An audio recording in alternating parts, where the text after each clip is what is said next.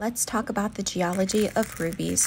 Rubies are a variety of corundum, an aluminum oxide that contains chromium. Chromium is what gives it its famous red coloring that we see in rubies. In fact, the more chromium present in the stone, the deeper the red and the more valuable it is. Other varieties of corundum are sapphires. So when it's red, we call it a ruby. When it's blue, yellow, pink, or any other color, we call it a sapphire.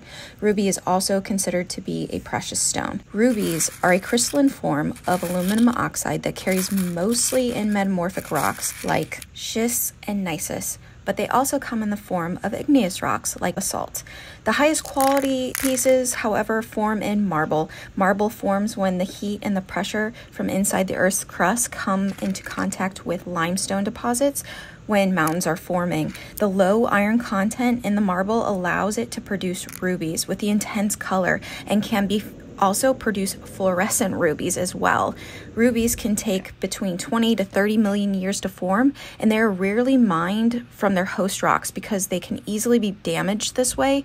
Rubies are resistant to weathering by wind and water, so the places where it's mined, natural weathering and erosion over a long period of time have ended up removing these rubies from the host rock.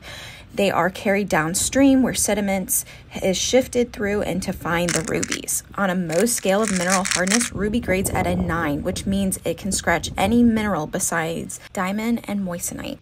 Rubies are found in areas all over the world, with some of the most famous rubies coming from Myanmar, Sri Lanka, and Thailand. They can also be found in Russia, India, Africa, Afghanistan, Cambodia, Kenya, Laos, Madagascar, Malawi, Mozambique, Pakistan, Tanzania, and Vietnam.